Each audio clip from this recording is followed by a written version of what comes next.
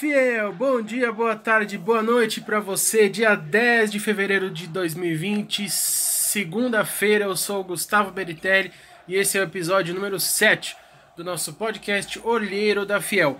Hoje com o News Semanal, trazendo para você todas as notícias, todas as novidades que movimentaram a semana do Esporte Clube Corinthians Paulista.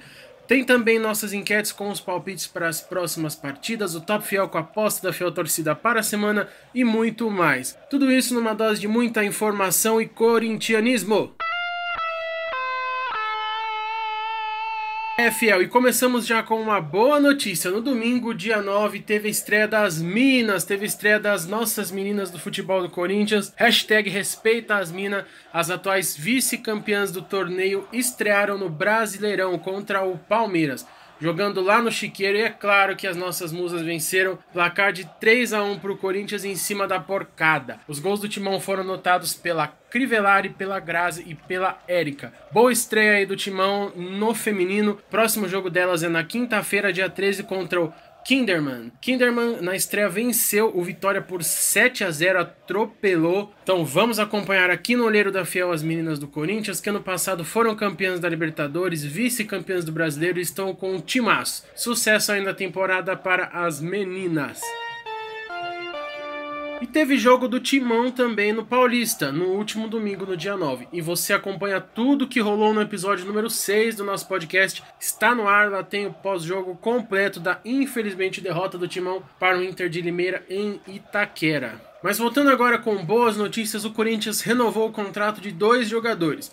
O volante Camacho, agora titular absoluto com o Thiago Nunes, ele realmente tem jogado bem. E o meia Matheus Vital. O Vital não é titular, pelo menos por enquanto, com o novo técnico do Timão, mas é um bom jogador, é um bom driblador, uma jovem promessa aí do futebol brasileiro, costuma atuar bem, então foi uma boa notícia aí também para Fiel. Se ele não jogar bem, pelo menos tem um futuro promissor e dá para fazer algum dinheiro aí até o fim do contrato dele. E agora a notícia ruim, a notícia péssima que a gente tem é, é que teve renovação, mas que como nós já havíamos falado no episódio número 2 do nosso podcast, tem também perda bem importante. O Corinthians concretizou a venda do meio atacante Pedrinho ao Benfica. O valor divulgado é de cerca de 20 milhões de euros, que equivale a quase 100 milhões de reais. Embora concretizada a venda, não existe, pelo menos divulgado o contrato assinado ou coisa do tipo. Mas já está tudo certo, tanto que o time português cedeu o jogador Ione Gonzalez por um empréstimo para o Corinthians sem custos, além, claro, do salário do atleta que será pago integralmente pelo Corinthians. Até o fim do ano ele está por empréstimo, com opção de compra no término desse empréstimo no valor de 3 milhões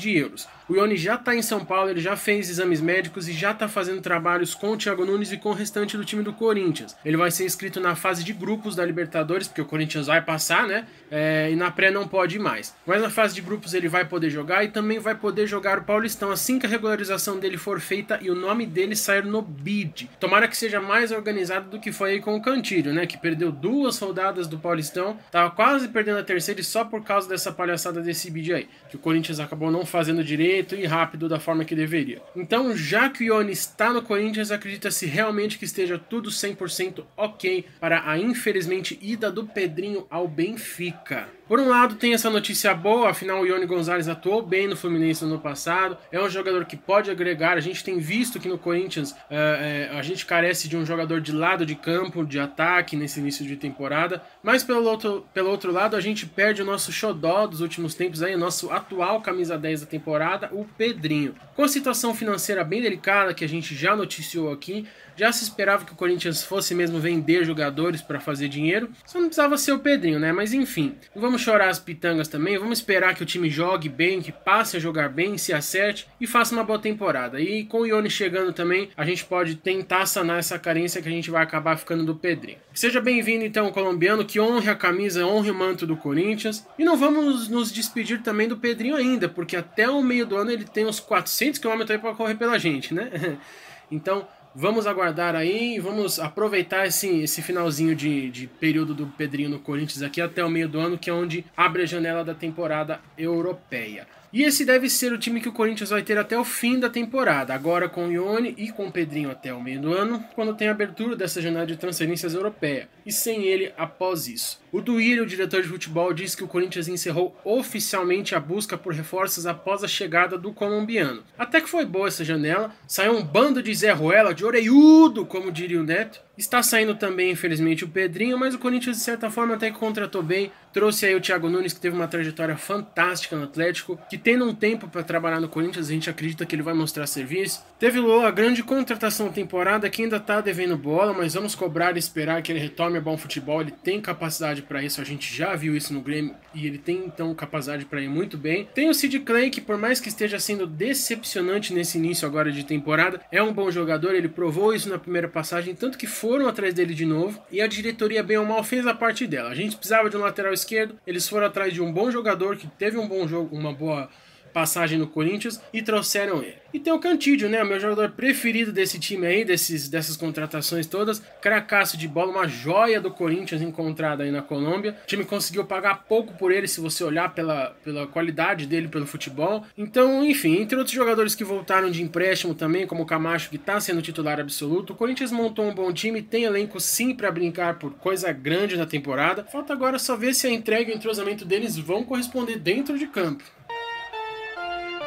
E por último, e não menos importante, notícia do departamento médico. O Corinthians estava correndo aí na última semana com o tratamento do Ramiro, fez tratamentos intensos, tudo para tentar fazer com que ele estivesse à disposição do Thiago Nunes para essa quarta-feira, para o jogo de volta contra o Guarani na Libertadores. Porém, no sábado mesmo o time divulgou uma nota dizendo que ele está fora da partida, portanto mantém-se o desfalque aí para o jogo, o Ramiro não vai para a partida. Melhoras aí para o Ramiro, que ele se recupere logo e volte bem como estava antes de acabar se lesionando no jogo contra a Ponte Preta.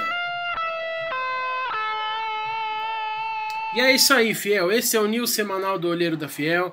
Já estão no ar os podcasts número 5 e 6, trazendo para vocês tudo que rolou na estreia do Coringão na Libertadores contra o Guarani e também no jogo do final de semana do Paulistão contra a Inter de Limeira. Esses dois podcasts são os dois pós-jogos do Corinthians. Na sequência, nós vamos ter o podcast número 8 com o pré-jogo, trazendo todas as informações da próxima partida, que é o jogo de volta da Liberta contra o Guarani.